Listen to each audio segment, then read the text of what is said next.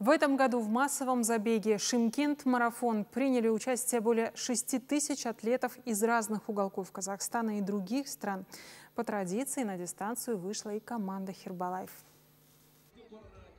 Постоянные участники марафона – компания «Гербалаев». В этом году они принимают участие как «Экиден-команда». Ее лидером является Толкун Нурушева, двухкратная чемпионка Казахстана по легкой атлетике в категории «Мастерс», многократный победитель и финишер республиканских и международных марафонов. Мы готовились к этому забегу более трех месяцев, основательно, каждый день, в любую погоду. И сегодня каждый бежал на свой максимум, чтобы не подвести свою команду. Гербалайф – бренд номер один в мире в категории по контролю веса и здоровому образу жизни. Компания выступает партнером множества спортивных мероприятий международного и регионального масштаба. Независимые партнеры бренда создают многочисленные ЗОЖ-сообщества.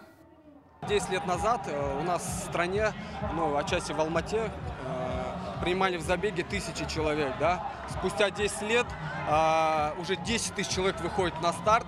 И те, кто еще не начал бегать, вы теряете время. Люди, которые поняли, что спорт это здорово, уже бегают и становятся сильнее и лучше. По итогам забега Экиден команда Гербалаев заняла второе место. Участников наградили медалями и подарочными сертификатами. В Казахстане ежегодно проводится до 25 марафонов. Количество участников массовых забегов растет. Так в Шумкенском марафоне в этот раз приняло участие на тысячу человек больше, чем годом ранее.